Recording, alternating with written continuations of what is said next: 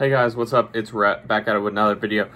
Big news today, the Atlanta Hawks expand capacity to full capacity basically. I think 15,000 something out of the 16,000.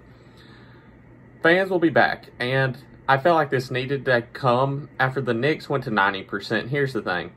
New York has had some of the worst COVID stuff in America, so it didn't make sense that they could go up to 90% and we couldn't and I'm glad to see us do it. The Braves are at 100%, which I love. I love it. The, they're going to be fans back. Um, I want to go Friday, but I have my own graduation, high school graduation, or I would be there. And I would love to be there with 15,000 of my closest friends, but I can't. I'll be at game four. But this is big home court advantage. I guess not in this series since both teams are going to have a lot of fans, but people are going to love it because it's going to be normal. Um, this is going to be the first series of the year where there's full capacity in each stadium. You can get chants going. Because I've gone to the other games. It's dead. The workers are annoying. And it's not as fun. They got better towards the end, but at the beginning of the year when it was like 20%, it was just dead. You'd be better off watching the game at home. Because um, the experience wasn't fun.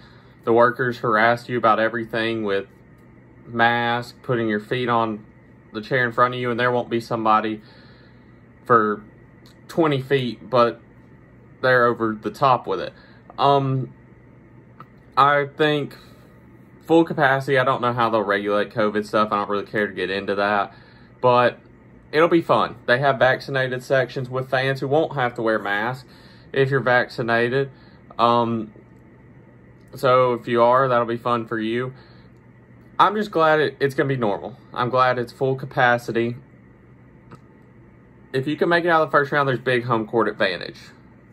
Um, because Philadelphia is at like 15 to 20%, and we're going to be at 100%. I mean, I could see them upping it. I think we upped it because the Knicks upped it, which I'm glad about.